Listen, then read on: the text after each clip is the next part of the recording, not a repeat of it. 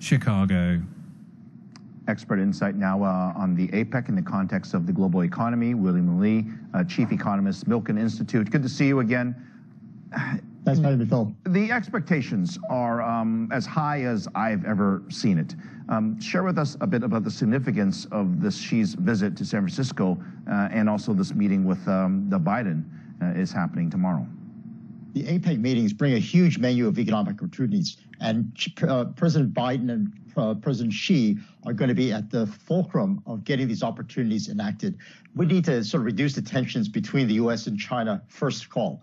Uh, we have to be able to allow trade to happen in a way that benefits all countries in the membership. And what the, the, the, the discussions are going to center on, center on are, are digital economy, uh, green and sustainable infrastructure projects, all of the things that China has uh, opportunities to offer to members of the APEC countries, and which the United States can also participate. So I think getting the rules of the road straight uh, between the two leaders is absolutely critical because once we do that, China will present, I think, a new picture of Belt and Road, uh, a greener, smaller, uh, more sustainable projects, easier to finance. The United States will say technology is available to all if we ensure uh, domestic security. And, and getting these details down is going to be absolutely critical, and that's what the focus of the discussion is going to be.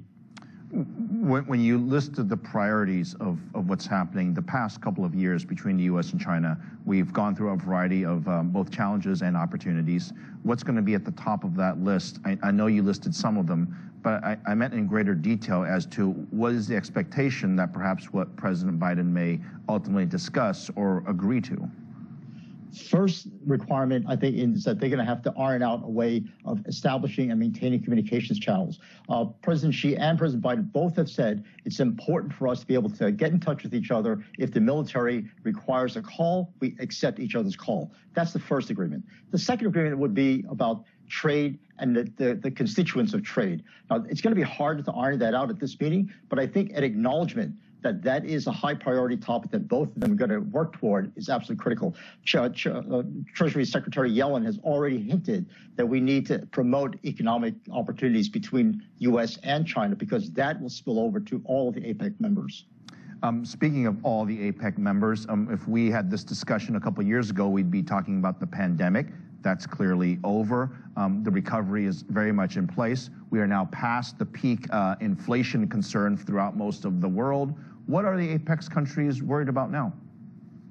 I think right now it's a matter of having um, food security. Uh, in all this world of geopolitical tensions, uh, it's very hard to tell whether grain prices are going to be going up or going down, whether there be shortages. And I think the the kind of security that U.S. and China leaders can try to establish is to say, look, we recognize there's a lot of conflict around the world. We, as the two largest economies in the world, can do something about it, and we will all take an active role in trying to promote a more reduced level of geopolitical risk. That's the first requirement to to stabilize security. Uh, and once you stabilize security and job opportunities start to open up with trade, that's when you have income security and that's when you start to develop growth, both in China and in the rest of the world. You think about it from the Chinese perspective. Uh, President Xi, obviously a very big moment for him uh, in San Francisco, back on U.S. soil. Um, he has a long list of things that he wants to sort of remediate, if you will, um, to solve. What's on the top of his list, and what do you expect perhaps at the end of these discussions, what statement might be made? Great question. In fact, I think the most important meeting is not the meeting between President Xi and President Biden. It's the meeting with President Xi and all the CEOs at the dinner that'll, that'll take place. President Xi has to convince foreign companies to come back into China big time because Chinese, uh, you know, American companies and, and, foreign companies represent about only about 3% of all Chinese companies in China. But it, the, these foreign companies account for uh, 40% of the trade that China does with the rest of the world. It accounts for 10% of the urban employment in China. So these foreign companies are absolutely critical, and that's going to be the highest priority for President Xi. Convince foreign companies China is open for business, and you're all welcome back. It's interesting. I, I, I, just I haven't seen a summit or uh, an important meeting like this where the expectations are very high, quite frankly, on both sides. These CEOs that you're talking about, um, you speak with a lot of them, and they have they look at China as both opportunities, but there's also risk assessment as well. What do you think they're looking forward to perhaps hearing from President Xi? What are the key words? What are the actionable uh, issues that they're trying to resolve when they make these decisions on where to invest capital expenditures?